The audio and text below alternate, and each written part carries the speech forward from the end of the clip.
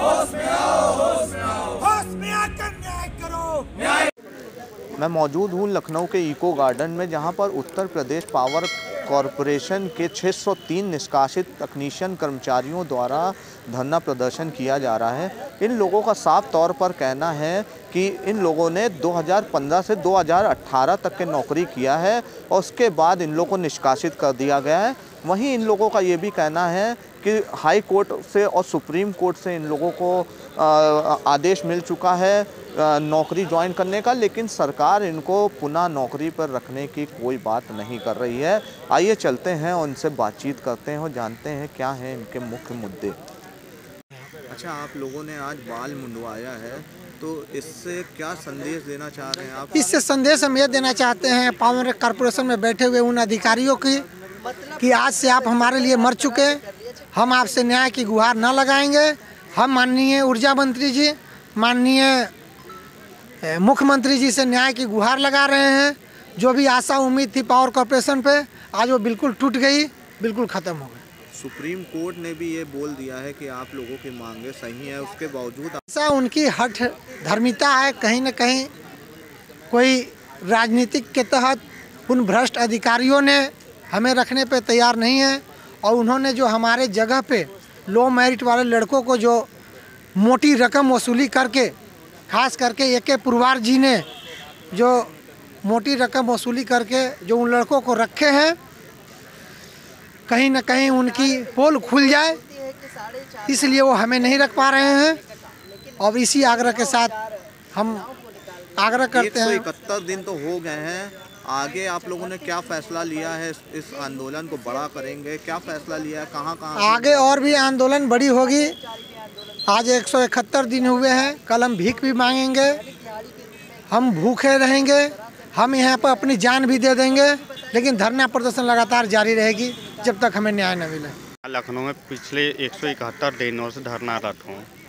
ठीक है, मैं अपना घर, परिवार, बाल बच्चों को छोड़कर पिछले एक सौ इकहत्तर दिनों से ठंडी, गर्मी, बरसात को झेलते हुए यहाँ अपने नौकरी को, अपने पुरानी नौकरी की मांग को लेकर, जिसमें हमने तीन साल की निरंतर सेवा बिना किसी का, बिना किसी नियम नियमित सेवा करते हुए की है ठीक है।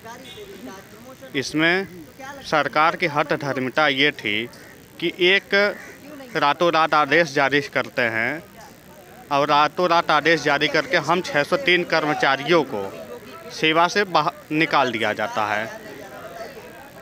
हूँ कि सरकार में ऐसा हो रहा है ये राम राज्य की सर, सरकार की परिकल्पना करते हैं उत्तर प्रदेश राज्य में।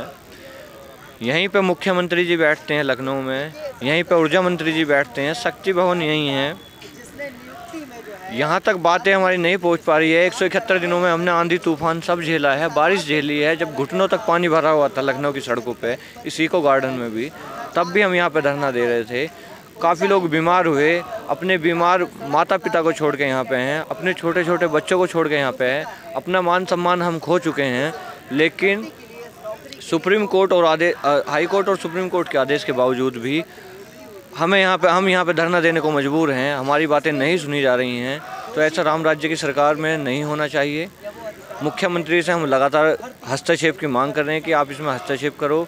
जो दोषी अधिकारी हैं, विभाग के, पावर कॉरपोरेशन के, उनके खिलाफ जाँच बैठाई जाए, क्योंकि सुप्रीम कोर्ट ने या हाई कोर्ट ने भी हमें कहीं पर भी किसी कोर्ट ने कभी गलत नहीं ठहराया है। और हाई कोर्ट का ऑर्डर आ चुका था, हमारे फेवर में कि इन लड़कों को जो समझ किया जाना चाहिए। चुके हैं। जनता दरबार में कई बार जा चुके हैं, लेकिन मुख्यमंत्री जी से हमारा मिलना नहीं हो पाया है। लेकिन प्रदेश के लगभग दर्जनों भर मंत्रियों से हम यहाँ पे मिल चुके हैं।